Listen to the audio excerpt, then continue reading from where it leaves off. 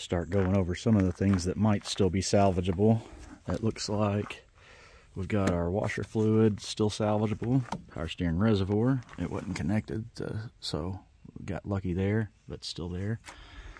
Master cylinder and hydraulic booster just got to be connected correctly and it might still be functional. I guess uh, we might still have the electronic boost available if we get it hooked back up right. The ABS module, it looks like it's there and looks like we might be able to reuse that.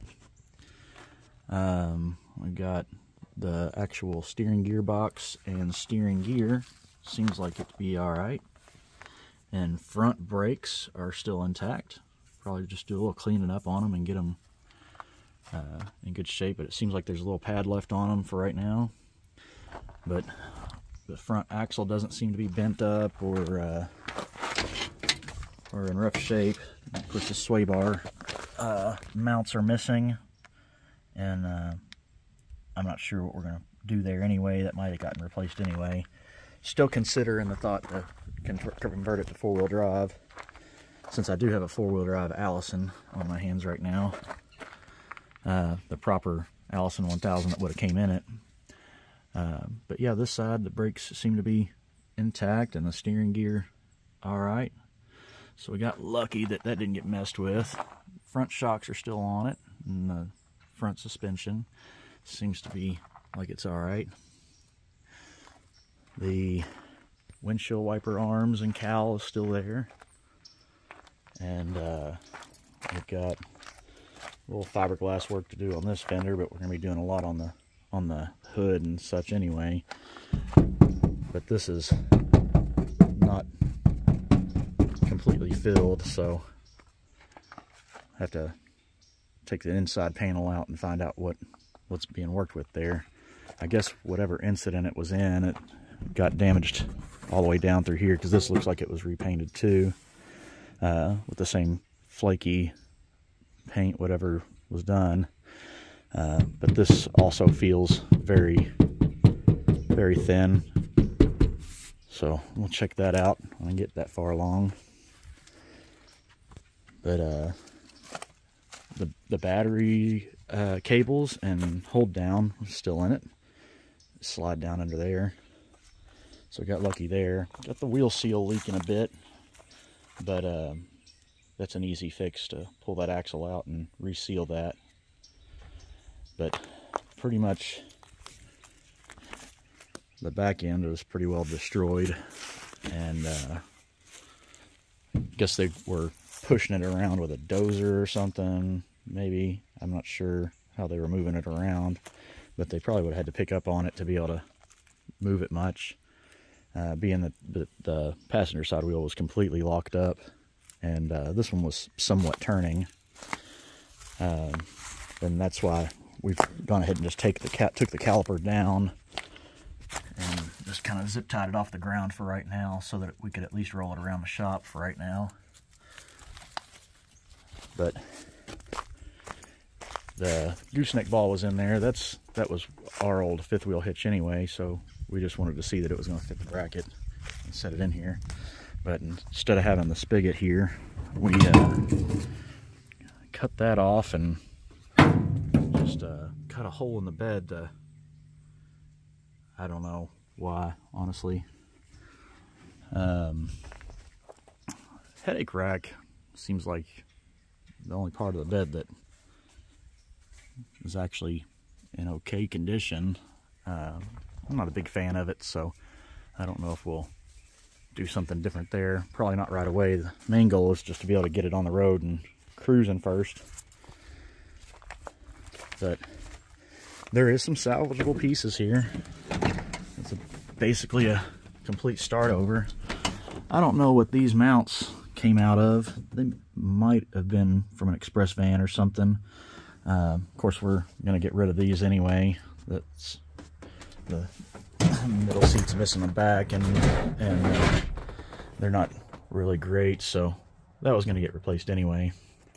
Uh, the engine cover hood, yeah, it's still uh, it's still all right. I don't know if the latches will latch for sure or not. I haven't gotten that far. Didn't didn't really push it all the way in to find out yet, but I think it will. Probably be replacing these floor mats while I've got all the interior out anyway. Just be convenient. We might do carpet. We might do new new rubber, but really floor covering's not that concerning. Doesn't keep us off the road. Uh, but as we typically go too far customizing, we'll probably end up changing it out anyway, so might as well go ahead and do it. Uh, but looks like the defrost vents and cover is still re reusable. Um, the steering column, you know, they had pretty well chopped it all up.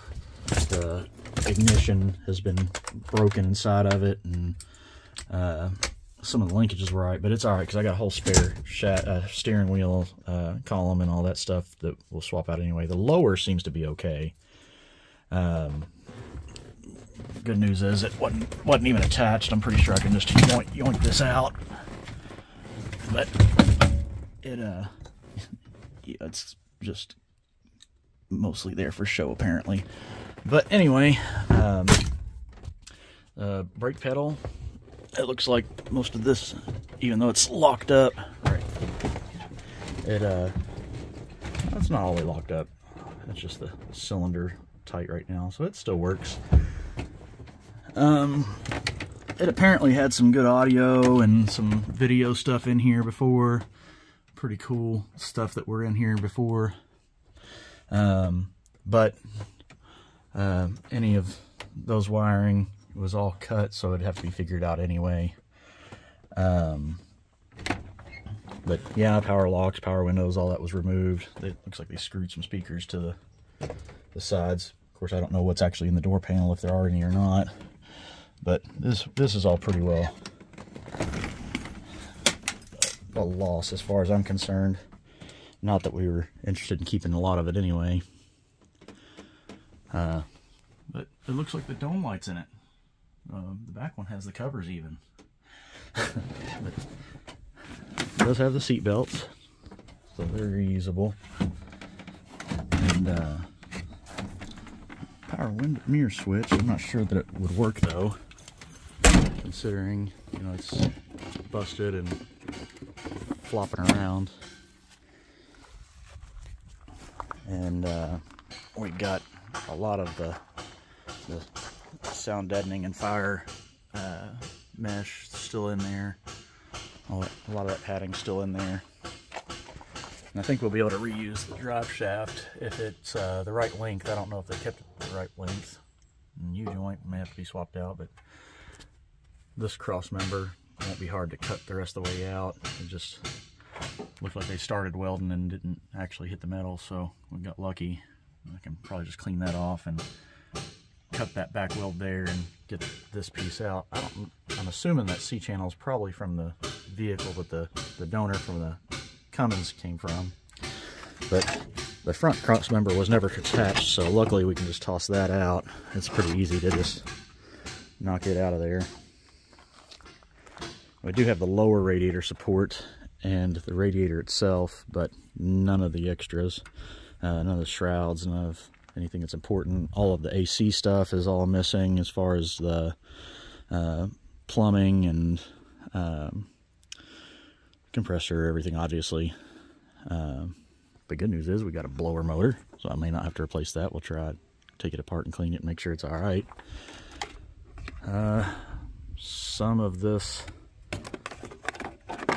may be reusable, but we probably won't just to make it easier because this is how they handled that situation.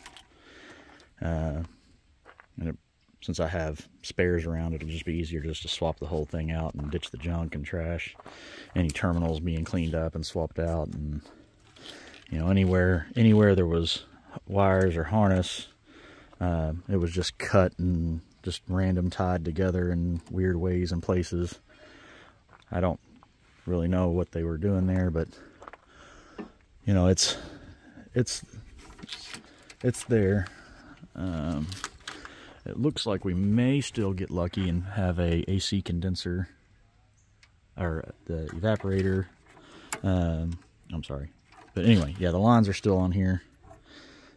For, uh, going into the box, so we might be able to reuse the box and the internals. I think there's a couple of wires here they didn't find to be able to cut. Got kind of lucky there. At least we'll have a little bit of a template, if nothing else.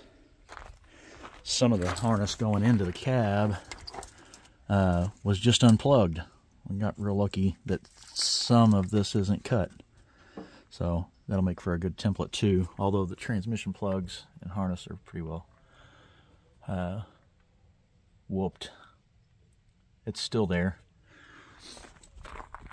As far as the rear air ride, most of that seems like it was looks like we're going to be able to reuse the axle and the rear sway bar was left alone it never got disconnected.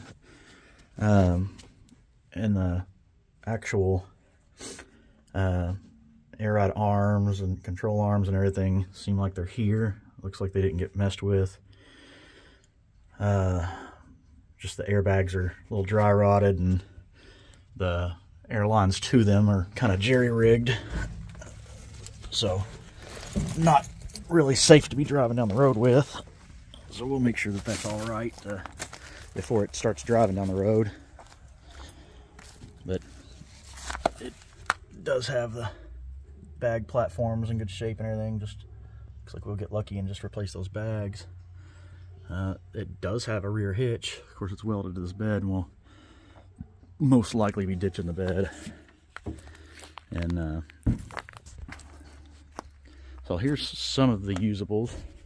Now, as far as our donor Escalade for our interior stuff, we're gonna reuse some of use some of the dash out of here. Um, I may go ahead and use this this steering column since it's here, and um, be taking apart the dash anyway.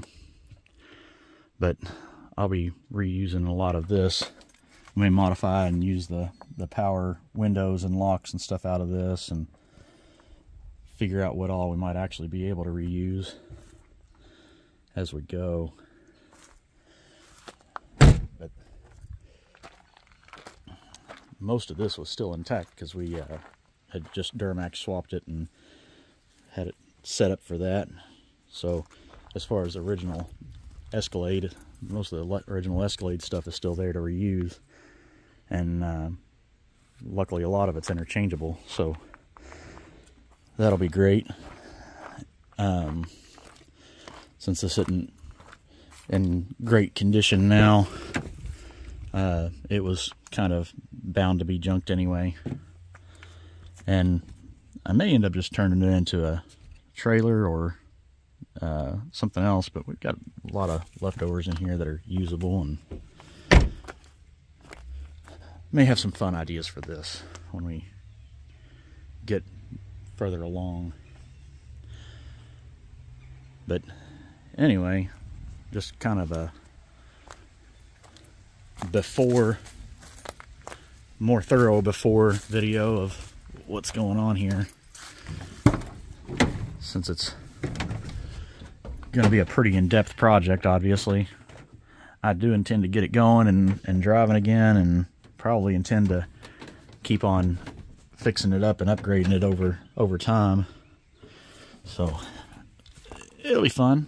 We'll see. I've wanted to build one of these out for a long time anyway. Been on my bucket list of cars to build.